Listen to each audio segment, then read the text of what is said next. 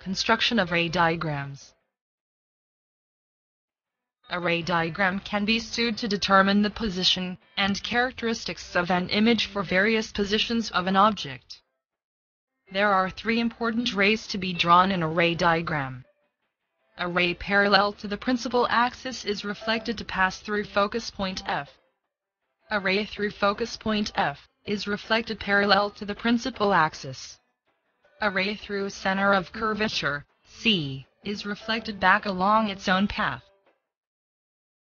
The following animation shows the use of a ray diagram to determine the position of an image formed by a concave mirror.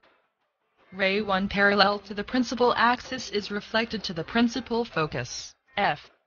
Ray 2 passing through the principal focus, F, is reflected parallel to the principal axis. Ray 3 passing through center of curvature, C, is reflected back along its own path.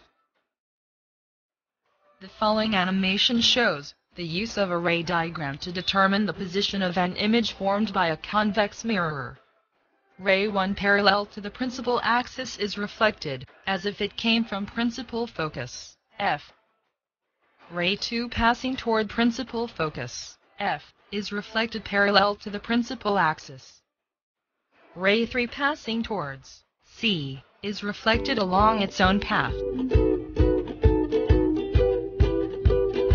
Thank you for taking time to watch this.